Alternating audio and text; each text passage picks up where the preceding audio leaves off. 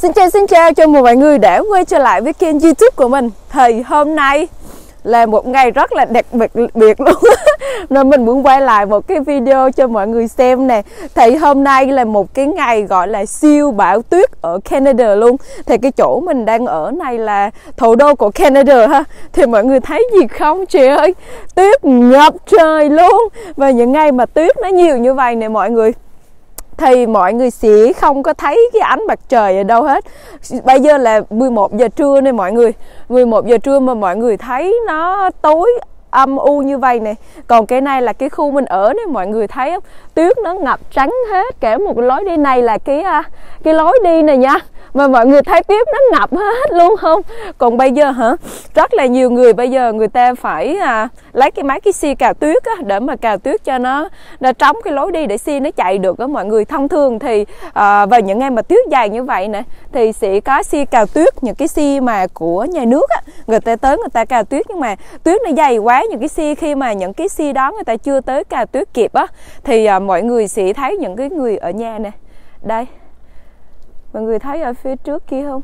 Có những người người ta tự cào tuyết luôn chứ tại vì khi mà, đây, đỡ cho mọi người, mình cho mọi người xem tuyết mà nó nó ở trên xe nè. Ví dụ như đây là xe ô tô mình chạy đúng không? Này là xe ô tô mình chạy đúng không? Mà tuyết mọi người thấy không? Nó nhiều đến một cái mức độ mà đã kín hết trên những cái kính xe á.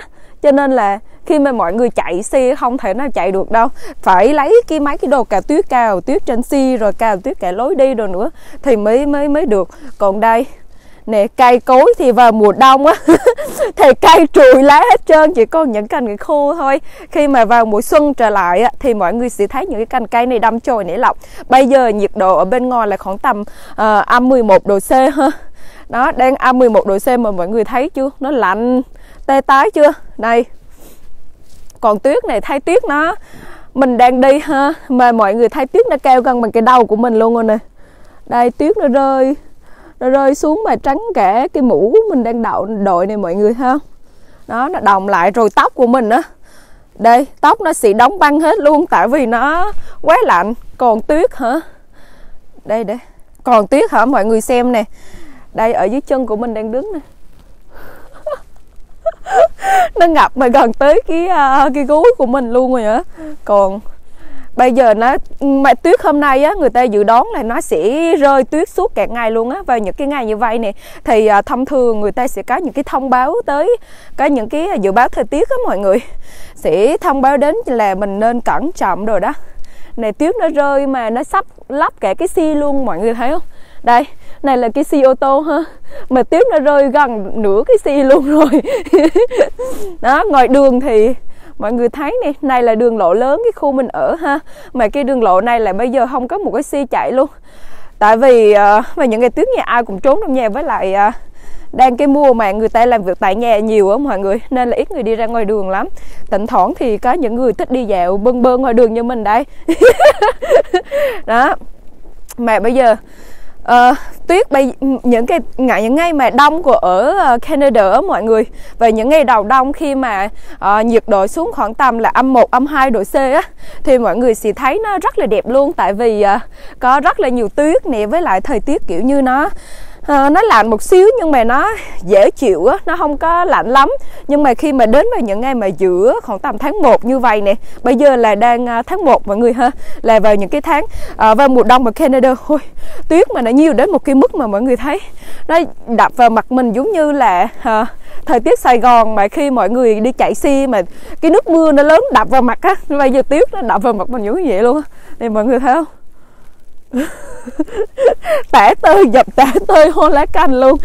À, mình đang đi ngược hướng của cái à, cái tuyết rơi đó mọi người. Này là cái khu uh, cái khu dân cư ở Canada ha thì cái uh, cái khu dân cư này nè nó cách cái trung tâm thủ đô khoảng tầm uh, nếu mà mọi người lấy xe thì khoảng tầm à, uh, 10 phút mọi người lấy xe khoảng tầm 10 phút thì uh, thì sẽ đến uh, cái khu này. Thì ở ở Canada mọi người sẽ thấy nó có một cái nền uh, một cái nền văn hóa là cái khu dân cư á.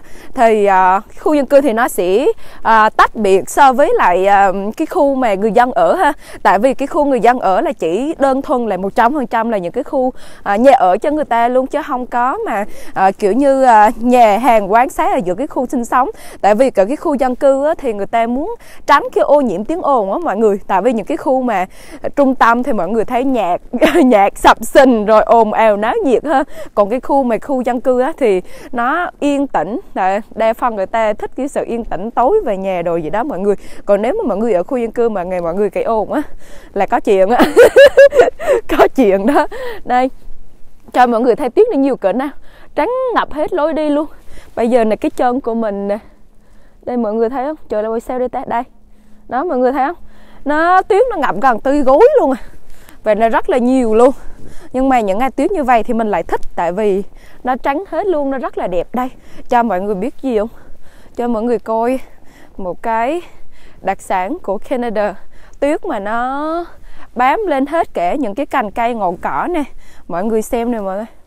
Đây, này là cái đầu mình ha đây là tuyết đây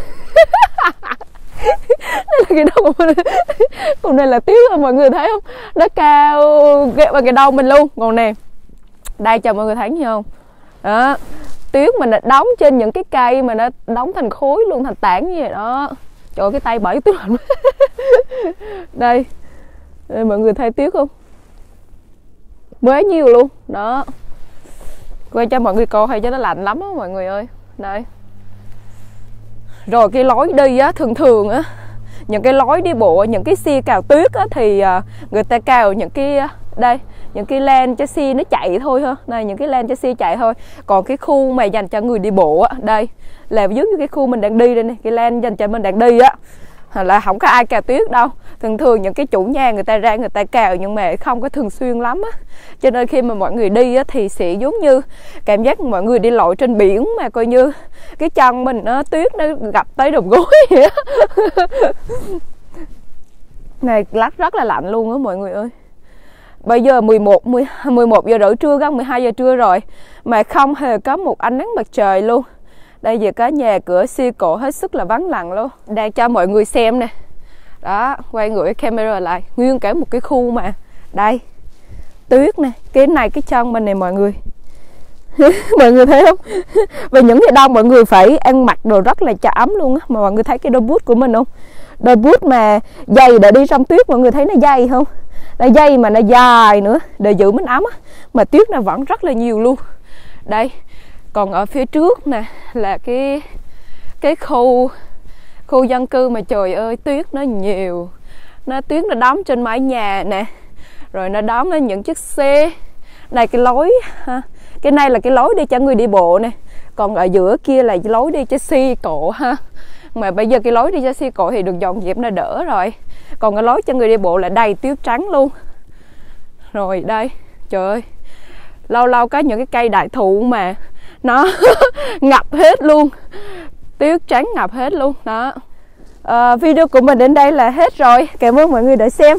Và nếu mà mọi người thấy thích thì đừng quên like và subscribe đồng hồ kênh youtube của mình nha. Hẹn gặp mọi người ở video kế tiếp. Bye.